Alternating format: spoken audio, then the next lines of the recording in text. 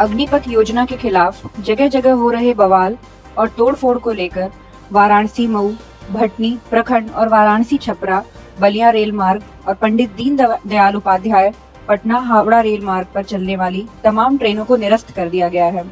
इससे शनिवार को सभी स्टेशनों पर सन्नाटा पसरा रहा।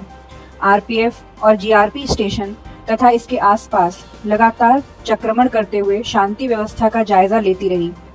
इसके साथ ही पुलिस और प्रशासनिक अधिकारी संबंधितों से शांति व्यवस्था की जानकारी लेते रहे। मालूम हो कि शुक्रवार की सुबह अग्निपथ योजना के खिलाफ बलिया स्टेशन पर विरोध प्रदर्शन करते हुए छात्रों ने ट्रेनों में तोड़फोड़ कर आग लगा दिया था, जिसके बाद जिला प्रशासन अलर्ट मोड पर आ गया है। बवाल को देखते हुए जहाँ ज़िले के सभी रूटों पर कई ट्रेनें निरस्त कर दी गई थी, वहीं प्रशासन ने वाराणसी जाने वाली प्राइवेट बस और रोडवेज़ बस का संचालन बंद करा दिया था।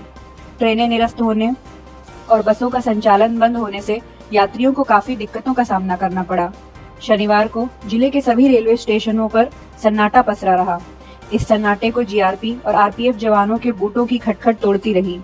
गाजीपुर सिटी स्टेशन पर आरपीएफ इंस्पेक्टर अमित कुमार राय के नेतृत्व में जीआरपी प्रभारी अखिलेश मिश्रा और कोतवाली पुलिस ने सुबह रेलवे स्टेशन के साथ ही माल गोदाम रोड पर चक्रमण किया।